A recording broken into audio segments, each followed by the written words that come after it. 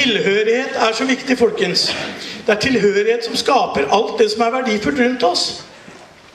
Og vi må hegne om de tingene som er med på å bygge sterke fellesskap. Det er derfor denne kampen for Telenor Arena blir ført av noen av oss, ganske mange, med et sånn glød. Noen kan jo tenke at det handler om å ødelegge for han stakkars private investoren som har brukt masse penger. Kan ikke han få lov å tjene de pengene tilbake? Det handler ikke om det i det hele tatt. Men det handler om det som var meninga.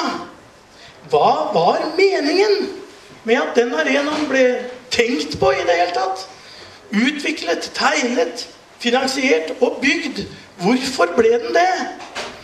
Og det er jo et eneste svar på, og det vet alle. Det vet han eller eierne i dag og det. Det vet kommunepolitikerne, det. Og det vet jo vi. Den ble bygd fordi at det skulle være et sted for fellesskap. Fellesskap rundt store fotballopplevelser, fellesskap rundt barnefotball, barneidrett, lokalidrett og fellesskap rundt en konsert eller en messe hvis det var noe tid til overs. Derfor ble den arenaen bygd. Den ble selvfølgelig aldri bygd fordi at det skulle være et sted for firmafester og rave-parties. Den hadde jo aldri blitt bygd for det. Det er fellesskapets midler som har bidratt til at den er blitt bygd. Den er ikke blitt bygd av en investors private penger. Det er blitt gitt en tomt fra Bærum kommune, eller med Bærum kommunes hjelp ble det altså gitt en tomt som er verdt kanskje 200-300 millioner kroner. Fellesskapets gave til fellesskapet. Det ble gitt 50 millioner kroner i cash for at den skulle bygges. Fellesskapets gave til fellesskapet. Det vet alle. Nå er Folkeaksjonen for å få den arenaen tilbake til folket etablert av, og med flere tusen mennesker tilslutning for å fortelle våre politikere at dere må ikke glemme hva som var meninga. Det ville jo aldri vært aktuelt for fellesskap å gi en tomt til 200 millioner og 50 millioner kroner i cash til en privat investor. Aldri! Det har aldri skjedd. Det kommer aldri til å skje heller. Men nå er det altså rett og slett i ferd med å skje allikevel. Dette er skapt av og for fellesskapet, den arenaen der. Nå er det i ferd med, og det, var, og det vet alle var meninga, nå er det i ferd med å bli en diskusjon om juss. Om det går an å argumentere hardt nok for at flerbruk ikke handler om idrett og kultur, som det jo står i, i til og med reguleringsplanen, men det handler om at messer og konserter og firmafester er også flerbruk. Nå argumenteres det for at eh, For det står jo at det skal være kunstgress til og med i reguleringsplanen. Nå argumenteres det for at hvis de ruller inn den i to dager og har en liten turnering i slutten av januar, en lørdag og en søndag, så er det kunstgress på Telenor Arena.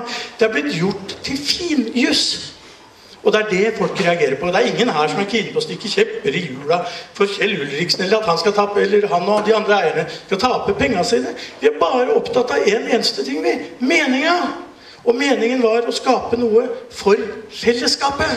Fordi det er det som er så ufattelig og utrolig viktig.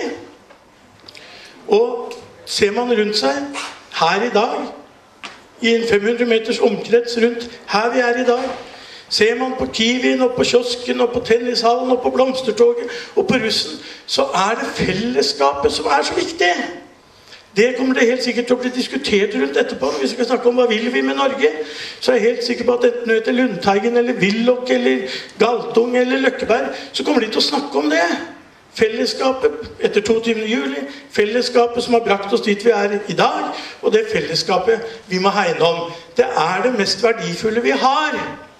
Og Telenor Arena er én liten ting. Det er ikke det viktigste i verden i det hele tatt. Men det er et, en prøvestein, tenker jeg, på om fellesskapet gjelder eller ikke.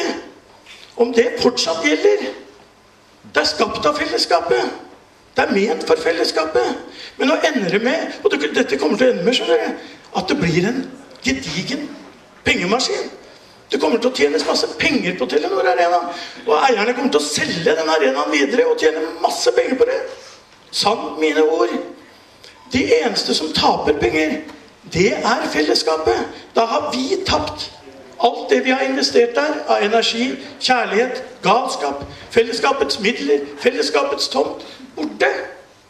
Det er det verdt å slåss for, syns noen av oss. Jeg insisterer ikke på at alle her skal være enig i det. Det er helt lov å være helt uenig i det, til og med. Men det er viktig å vite hva det handler om.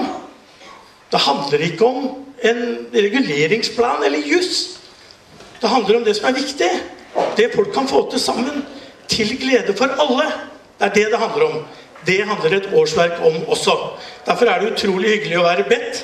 Derfor syns jeg vi skal gi, når jeg er ferdig, og det er om ti sekunder, gi de som har initiert dette og driver det og holder på år etter år, en fantastisk brakende applaus. For dette hadde, vi hadde jo ikke vært her uten at det er noen mennesker som tenker at fellesskap er viktig. Så tusen takk for at jeg fikk komme. Lykke til med resten av arrangementet. Og en varm applaus til de som gjør det mulig.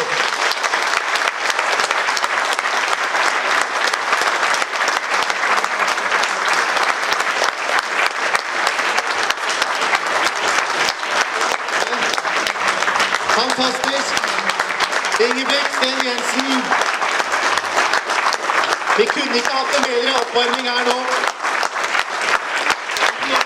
Og nå kommer Senere på kvelden så kommer ordføreren eh, som eh, Ordføreren kommer senere på kvelden, og da skal vi har egentlig avtalt at vi ikke skal mase om arenaen i kveld. Da skal vi kose oss i kveld.